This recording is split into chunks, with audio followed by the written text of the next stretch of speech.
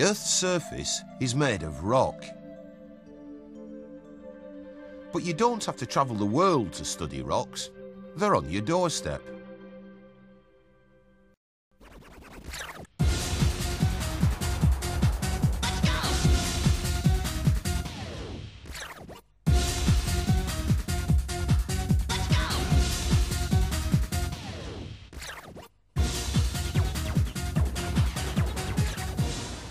Buildings are made of rocks which were once part of the Earth's crust. A town centre is an ideal place to start studying them. Right. Hidden in the rocks are clues as to how they're formed. These are going to be some of the things that you're going to try and look out for as we walk around town. Oh, look, a crystal.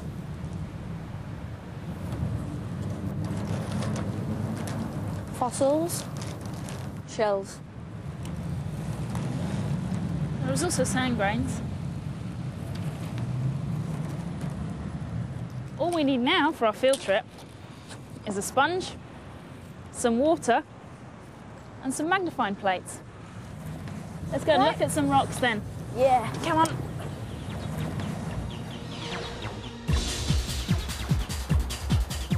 There are three types of rock to look out for. The most colourful can often be found on the front of banks. Architects use them because they're so attractive.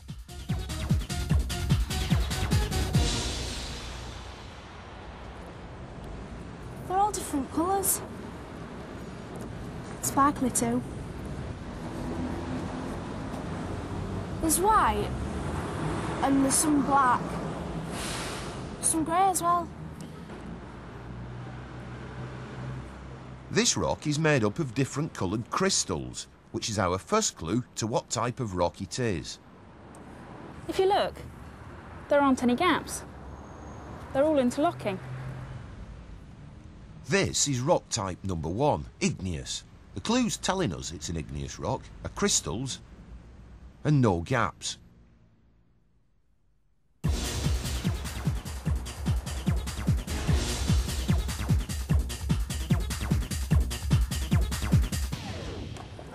So in igneous rocks, each different coloured crystal is actually a mineral. So what minerals are these? This long pink one, they're a mineral called felspar. And then the grey, glassy coloured minerals, they're quartz. But the very small, black, shiny minerals that you can see, they're called mica. Rocks made up of these three minerals belong to a type of igneous rock called granite. This bit's all smooth, like it's been polished. But this bit, like, it's all dull and rough. Like the rock would be in the ground. Rocks look much duller when they're still in the Earth's crust. So how can you tell this is another igneous rock? Now you've wiped it, you can actually see all the crystals. They're quite hard to see. Yeah, they're a lot smaller. In years gone by, some cobbled streets were made out of igneous rocks, like granite. What does this tell you about these rocks?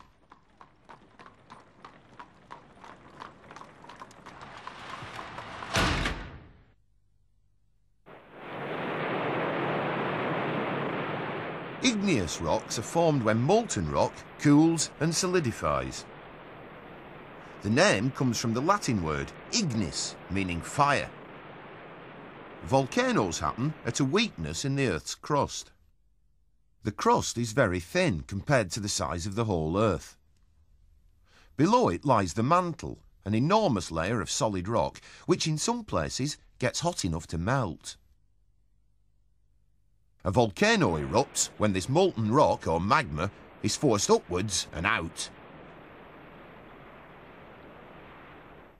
It forces its way to the surface through cracks in the crust and pours out as lava.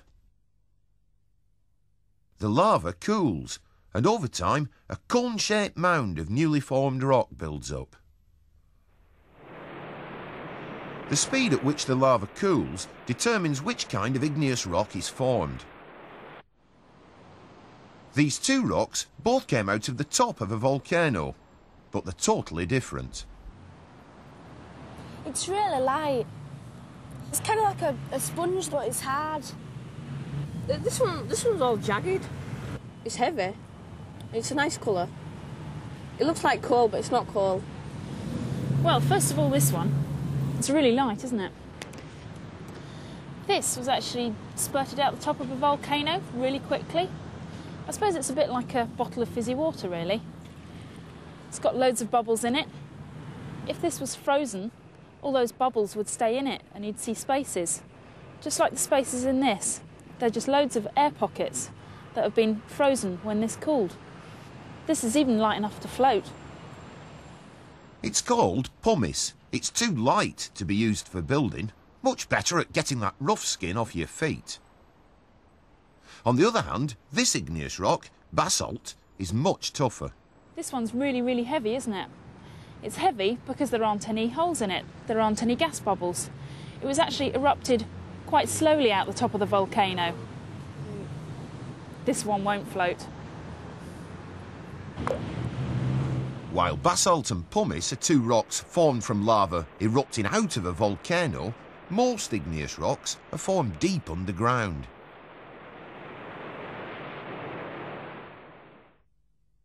This happens when the molten rock doesn't make it to the surface.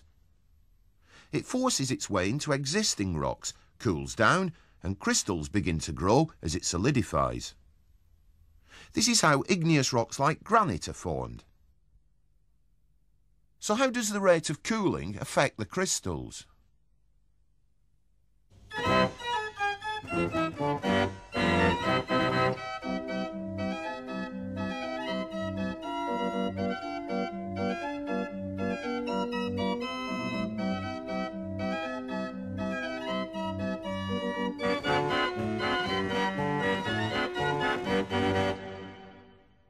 The magician is using a chemical called salol.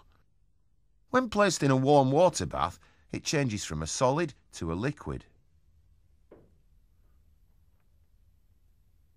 Sandwiching a small amount between two sheets of cold glass, and you can see how quickly the liquid solidifies. It crystallises. But each of the crystals is quite small.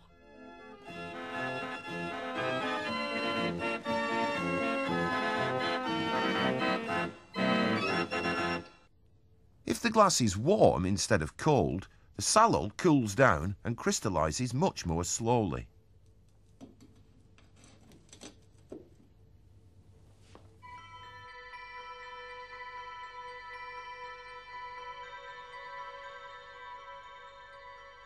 The slower the cooling, the bigger the crystals.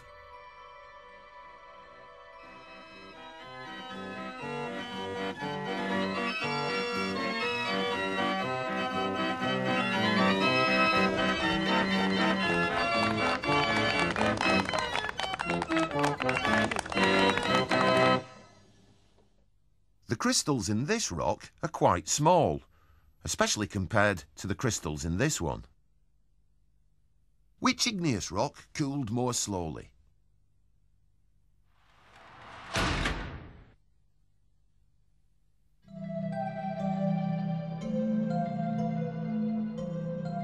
Believe it or not, the rolling countryside of Cornwall in southwest England used to look more like the Himalayas or the Alps. Mountains don't last forever. They gradually wear away at a rate of about 10 centimetres every thousand years. So all that's left in Cornwall today is a series of domed shapes, giving the landscape its rolling appearance. Changes in temperature from day to night and the expansion of freezing water cause rocks to wear away. When water enters a crack in a rock, it expands as it freezes overnight. When the ice turns to water and freezes again, it forces the crack open a little more. As the water seeps even further, the crack widens. This freeze-thaw action is repeated. It eventually causes pieces of rock to break off. They fall down the mountainside, where they lie as pieces of jagged rock known as scree. It eventually breaks down further into tiny rock fragments which are carried away by rivers and streams. Lighter particles, such as sand, are suspended in the water. Larger grains and pebbles are pushed along the bottom. The faster the river flows, the more it can carry. In this way, fragments of rock are transported towards the sea. This demonstration illustrates what happens when they get there. The sand and pebbles in the guttering are behaving as if they were in a river. The tank at the end is the sea. Where they meet, the flow of water slows down. It no longer has the energy to carry its load, and the particles fall to the sea floor, forming sediments which gradually build up over time. Over the years, these sediments get squashed and compressed and harden to form our second type of rock, another one to look out for in a town centre.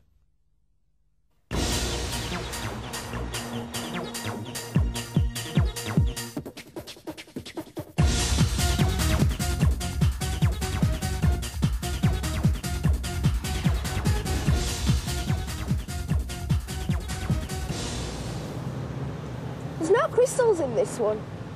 And it looks like sand grains. There's big pebbles and small pebbles. There's layers as well. This is our second rock. It's a sedimentary rock. All the tiny sand grains and pebbles, they're all glued together. That's called cementing. Two clues for spotting sedimentary rock are grains and layers. This one is called sandstone. Looks like sand grains on a beach. All sedimentary rocks are formed under the sea, but they aren't all made of sand. Limestone is made from the shells and bones of sea creatures and corals.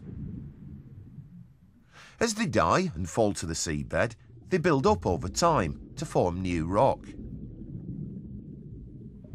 Many older town centre buildings are made of limestone.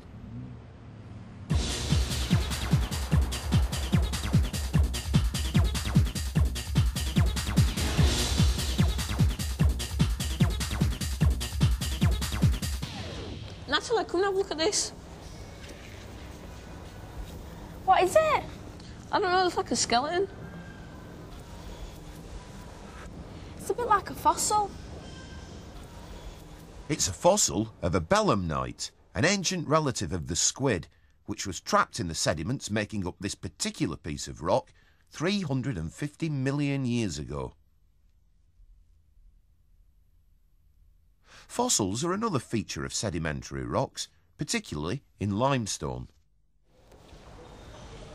Polished limestone has been used for the floor of this shopping centre. But was it a good rock to choose? We can check out how slippery it is with a skid resistance machine. You ready? Yep. That's 45. Yep. Right. When the pendulum swings, there's a rubber pad which drags across the floor. Friction between the rubber shoe and the floor slows the pendulum down. It swings almost to the top. The floor doesn't have a lot of grip. With a reading of 45, limestone is quite a slippery rock. But how does sandstone compare? Yep. 110. The pendulum doesn't swing as high. With a reading of 110, sandstone has much more grip. Characteristics would you look for in choosing a rock for paving stones? Or shopping centre floors? Is polished limestone a good idea?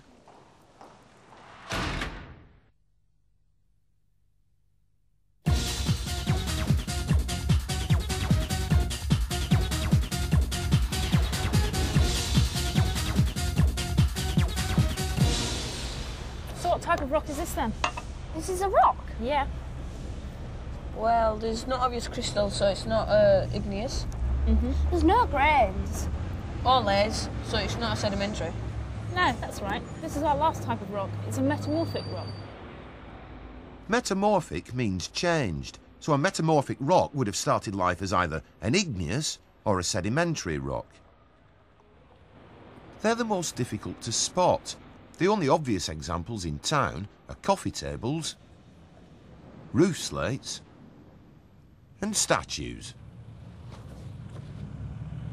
It's got a sugary feel to it. It's a nice colour. There's no crystals or fossils in it. This rock's called a marble. It used to be a limestone, but it's been subjected to a lot of pressure and temperature. It's just like baking it in an oven. a process which happens deep underground. The heat might come from a volcano. As magma pushes its way through the Earth's crust, the surrounding rocks get hotter. Sometimes they'll get hot enough to change. But you can't see it happening. The rocks are far too deep underground. As well as being baked, rocks can be squeezed. Pressure builds up in the Earth's crust. Eventually, it can cause rocks to change.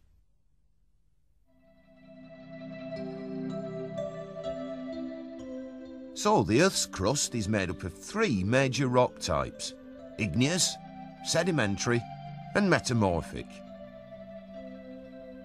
But they're changing all the time, albeit over hundreds and thousands of years. They change from one rock type to another.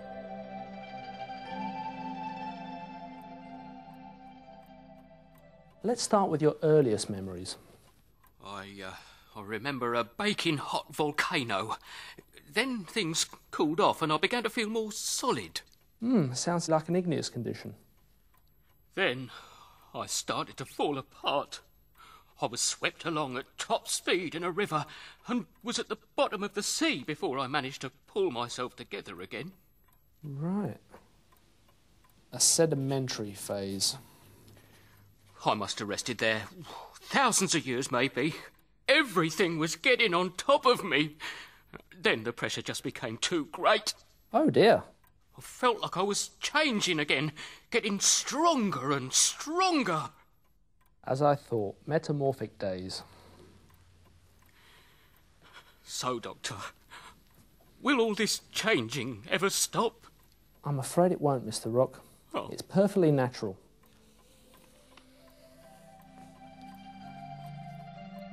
The fact is that rocks are changing all the time. They're part of a never ending cycle. They're even changing right now.